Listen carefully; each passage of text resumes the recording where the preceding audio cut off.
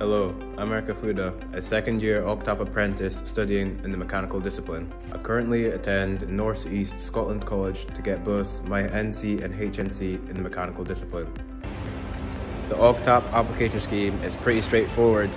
I recommend that to future applicants that you proactively come across and convey yourself in the interviews and show interest and put your best foot forward. My future aspirations once I've done OGTAP is to make my way further up the career ladder and gain further education.